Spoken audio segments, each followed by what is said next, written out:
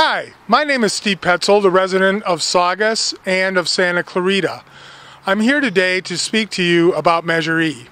My wife and I are not unlike a lot many of you. We moved here from the Downey area in 2000, largely because of the great public schools that they had here in Santa Clarita. My first touch with College of the Canyons came in 2004 when my son Spencer went there as, as at the Academy of the Canyons. My son Sam uh, started to attend COC about 2012, and at that time, one of the reasons for the selection was the first year experience program that guaranteed him the classes that he would need to complete the college in two years. My daughter Clarissa started at College of the Canyons in 2015, and we were somewhat surprised to find out that the first year experience program no longer existed when I first when I heard about Measure E, I decided to start looking at the actual measure and find out why it was that we needed new buildings. When I first heard about Measure E about the third week of March, I was immediately concerned and having worked on Measure S, I ran down to Norwalk to pull up the all the ballot arguments. Um, at that time, I read the ballot question and I was surprised to see that it was about a 75 word run on sentence that did not include the word taxes and assessment, and I became very suspicious. So I started to dig a little bit deeper and try to find out who was funding it and what the actual ballot arguments were for building more buildings at COC. After my daughter started attending College of the Canyons, I was surprised to hear the difficulty that she was having in getting one of the core classes that she needed, which was biology. And I found that to be very strange, especially in light of the experience that we had had with our son Sam using first year experience.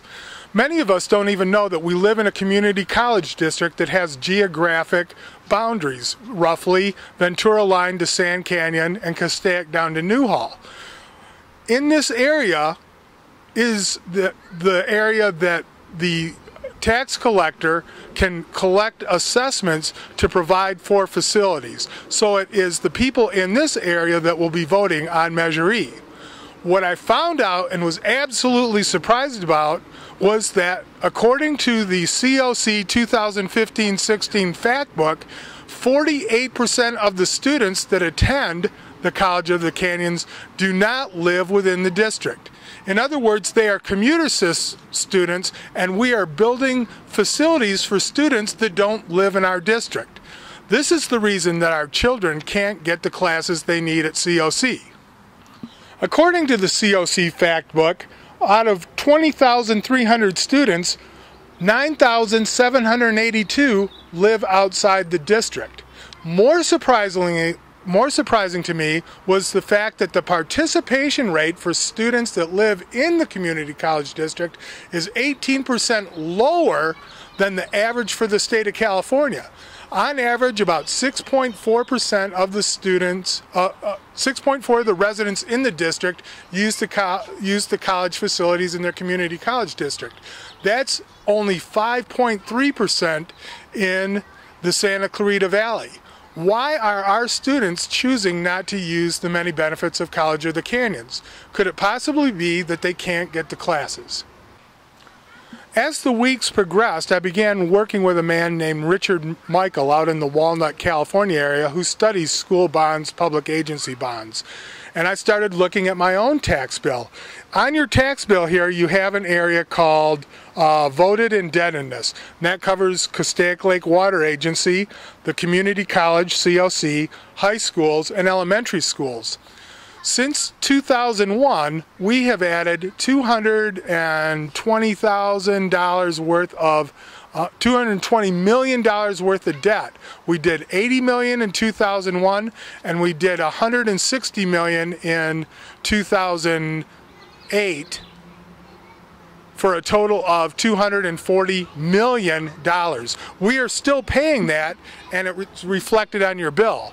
Even more surprisingly, I noticed that the payment rate that appeared in the tax information statement of Measure M called for a payment rate of $9.73 per $100,000 of evaluation, when Richard Michael and I backed that out through data available, um, we found out that we're, we are actually paying nearly $15 per $100,000 of assessment.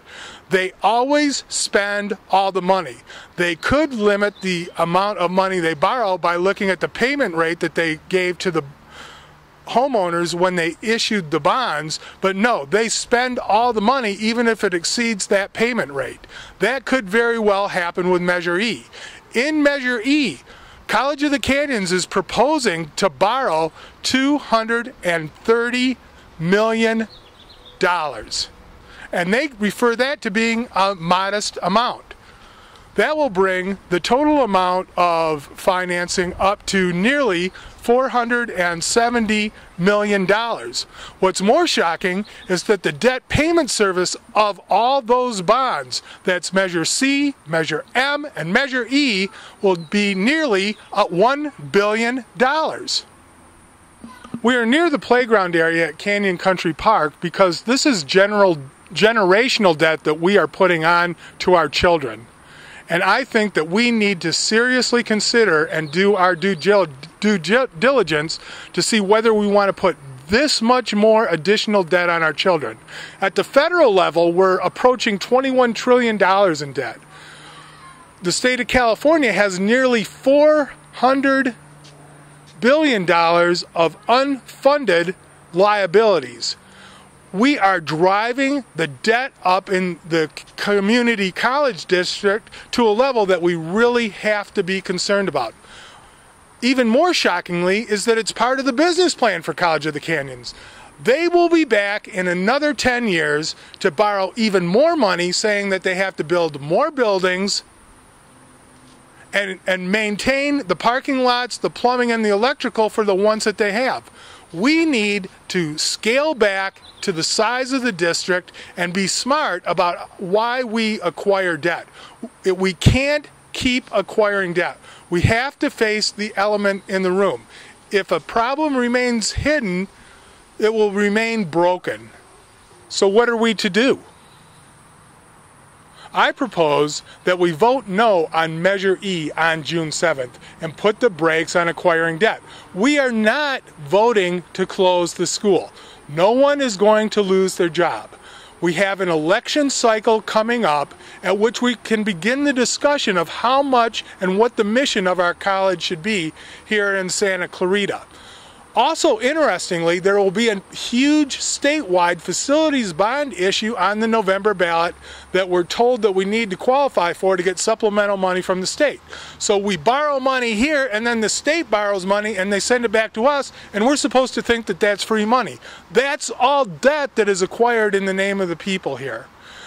I suggest that the Board of Trustees petition the Chancellor of Community Colleges in the state of California to begin to pare back the number of out of district students in our district here so that our students can get their classes in our district. We also want to look at perhaps reforming community college system in California. That might be making it just like the universities and colleges. We cannot maintain open enrollment in this district with the limited matriculation standards that exist. Other than that, I might even suggest uh, merging with the Antelope Valley Community College District because then you have a much wider assessment base to put the tax against. And if we're all going to benefit from the facilities we're building, shouldn't we look at building that assessment base as broadly as we can to limit that? I am not in any way opposed to education.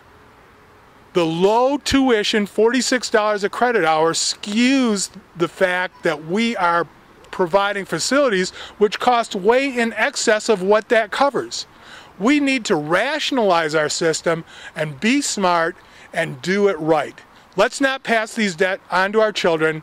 Please vote no on Measure E on June 7th. And for your best information, please go to nococtax.com. Thank you, and we will see you on June 8th.